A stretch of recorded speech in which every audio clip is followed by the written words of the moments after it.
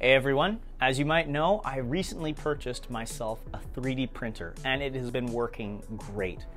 Uh, absolutely loving it, working on various projects and being able to rapidly prototype anything I want. But there's a problem. Usually when I start a print, I like to be in the vicinity so if something goes drastically wrong, I'll be there to stop it. This has happened a couple times in the past. However, some of these prints that I want to try are going to take way too long and I'm going to necessarily be away. My goal is to design a system where I can control the 3D printer from any computer anywhere in the world. So there are an infinite number of ways to solve this particular problem. I could take out some of the wires and connect to the circuit boards with my computer itself, and then write a bunch of code that would be able to talk to it and then control it using that. But that's boring and too much computer work for me. So I want a more mechanical solution. As you can see, this display is controlled with this knob at the bottom. You turn it right to select things on the right and left to select things on the left. Go figure, right? And then to select anything, you just push it in. So my solution to do this when I'm not here is to use this smaller servo to rotate the knob left and right using some good old two-way tape. And the second servo will be attached somewhere on the display and then we'll be able to pull the first servo into the knob, thereby selecting something. I have yet to figure out how exactly this is going to work, but that's what design is for. And I'm sure I'll figure it out in the next step. Now, the brackets I'm going to design for version 1.0 we're going to come around, wrap around either side, and have a big bracket whereupon this little guy gets screwed in.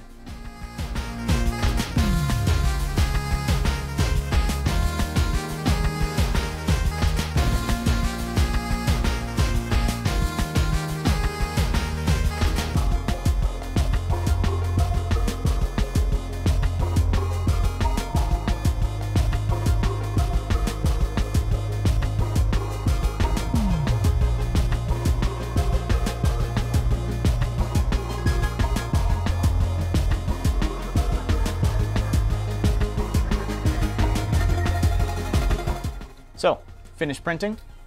Got this little thing. Let's see how well it works.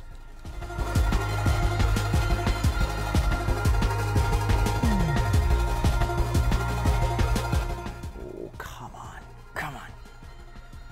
Oh, yes. Yes. Oh. Oh, that's beautiful.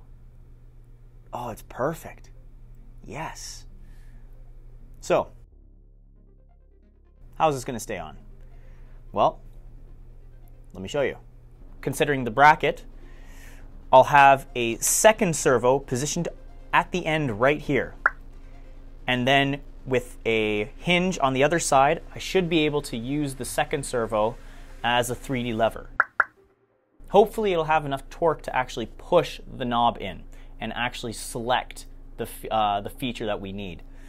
Uh, and if it doesn't, I'll have to re-engineer the bracket to do so. However, right now this is the simplest solution, so let's try it out.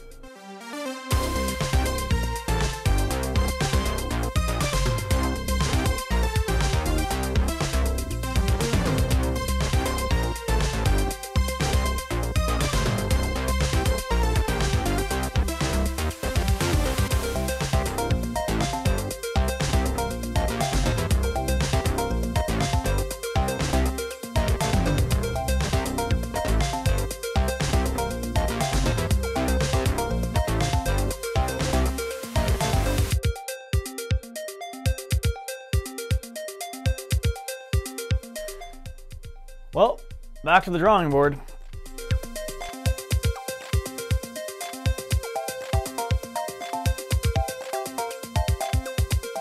So, Now that I have the bracket all made up, what's next? Well, this thing. This is the Arduino Uno, and it is the solution to this whole operation. Now, what it does is I can send this thing commands, which would then allow it to drive both that servo and the other servo. So, all we have to do now is write the code for this thing and see how it works.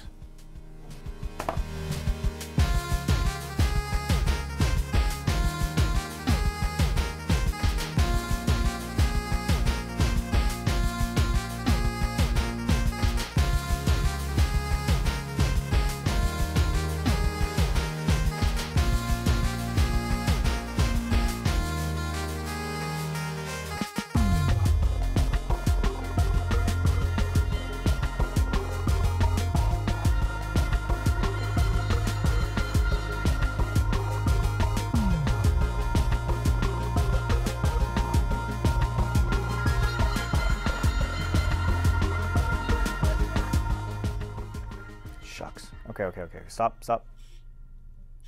Oh! Oh! Oh! No way!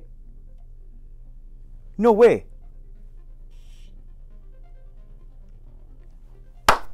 Dang it! Ah! It's not strong enough. Ah!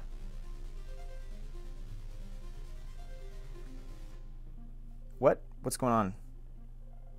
Nothing's. Why did it just do that?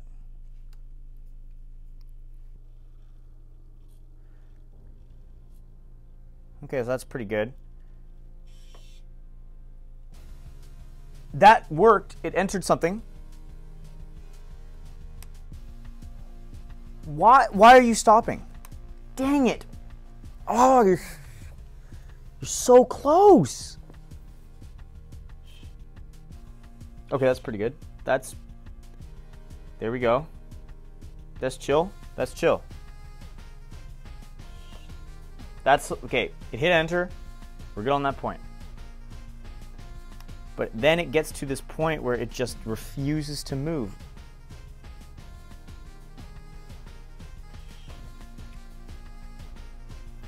Bro, why? Bro, why? It's going the exact same direction. Why is it doing that? I need, I need a charger. Gosh darn it. Okay, so it's not it's not it's just weird. Why is it weird? Why are you so weird? Uh, Is there just not enough power to Oh. Now just refuses to move. My, my goodness, man. Let's see. Left, right, little bit left, little bit left, little bit left, just like that, yeah? Little bit right, little bit right, little bit right. Beauty. All right. Down, down, down, down, down, down, down, down. Click. Come on.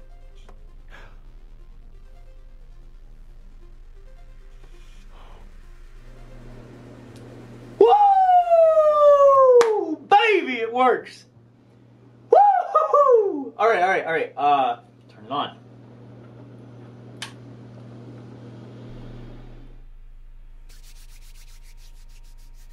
Oh, frick. Oh, you dummy. Uh, okay, I just need to write a couple lines of code. Select angle equals zero. Select. I thought it was angle equals 180. Okay, I need to change setup because this this is fantastic. All right, cut. All the way to the right, so I can select info, please. There we are. Oh, it's so close. Okay. 80. Let's go with 80.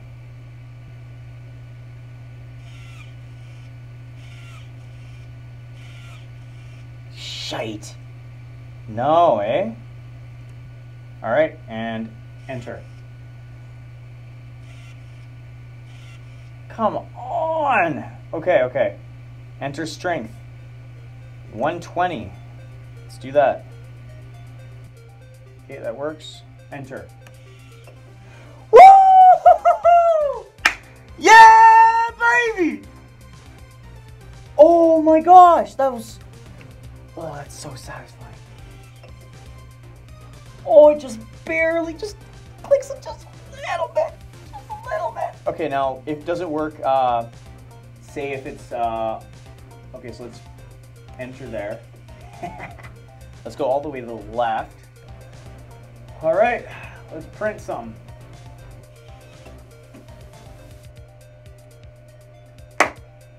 Yeah, baby. Oh, here it goes. Here it goes. From my computer. Right from here. Oh, man. Okay. This print will take two days. Two days and 15 hours, I think. Which is a total of 63 hours, I think. Yeah,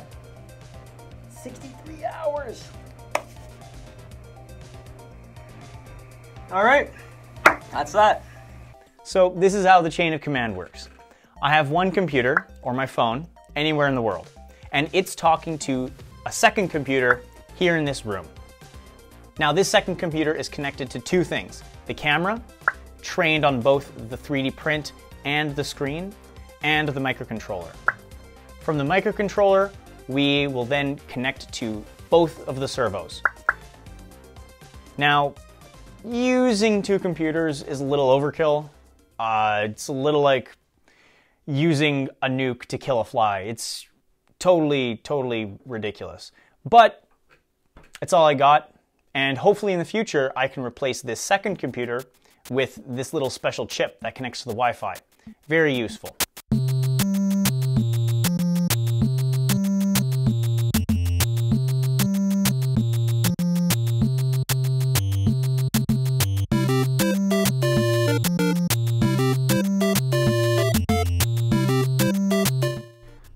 All hooked up.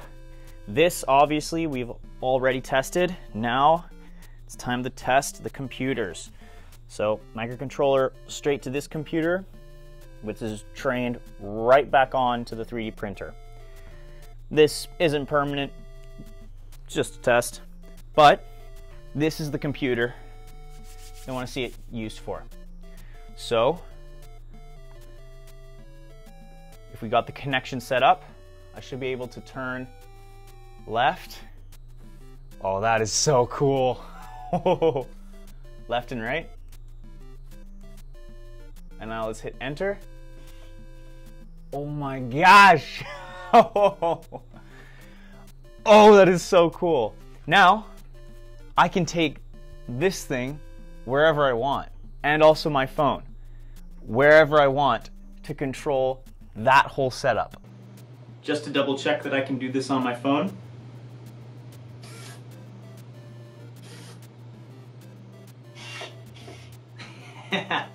Heck yeah.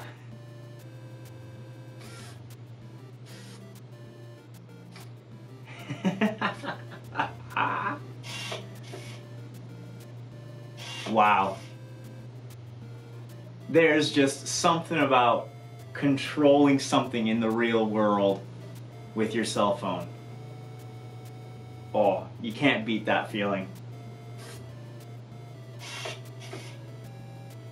Amazing.